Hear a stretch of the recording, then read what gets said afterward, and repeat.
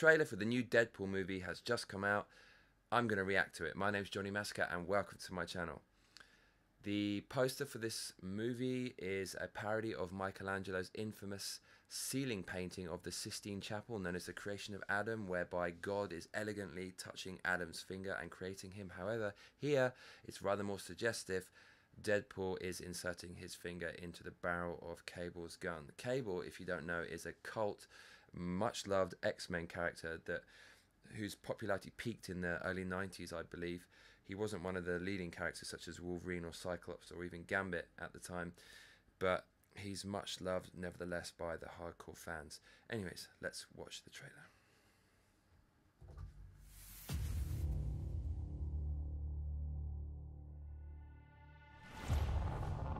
I was born into war, bred into it. People think they understand pain, but they have no concept of it. Cool. What's the most pain you've ever felt? Great dialogue.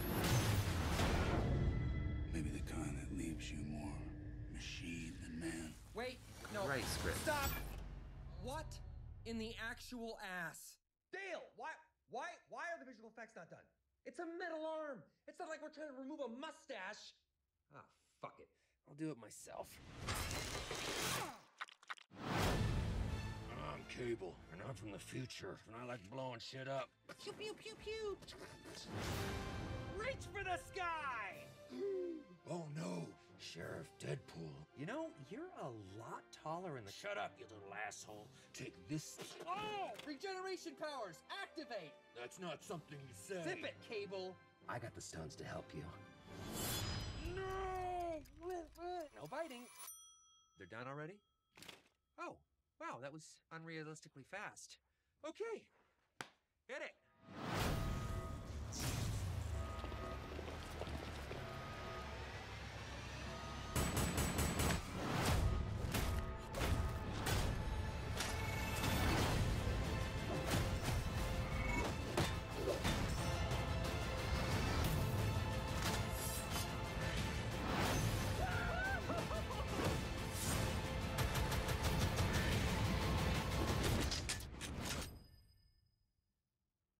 Time's up, you dumb fuck.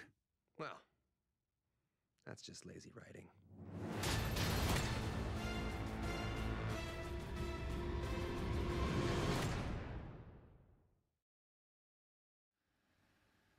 Well, you can see I wasn't exactly laughing there, but it doesn't mean I didn't enjoy it.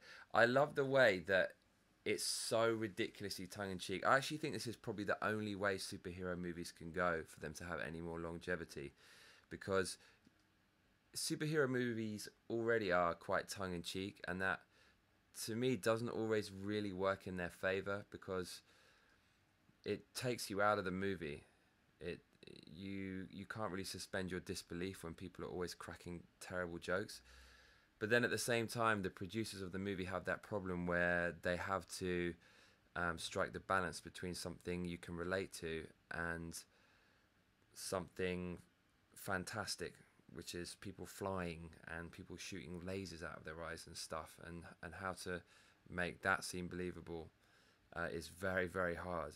So I think just to take the parody to the extreme and just take the piss out of the movie is good, especially the way this movie does it, whereby it will have serious stuff that we all want to see. Some of those action scenes look very serious and gritty, but at the same time, the the movie is going to collapse under the kind of pretentiousness of its own its own kind of um, universe. You know, some like ninja wearing a, a skin tight leather costume, and so at kind of fairly regular interviews uh, intervals sorry the the kind of serious action will just be punctured by some ridiculous comedy and so when that happens you can kind of say oh okay right yeah i mean look, it is just a silly kind of uh, superhero movie and it's not taking itself too seriously so whenever it does look kind of ridiculous i can forgive it and i, I like that dynamic i think that works really well uh, Cable's kind of an interesting character. He was always a fringe, uh, on the fringes of popularity. He was never a super popular character. With nerds, he's massively popular. But if you ask some random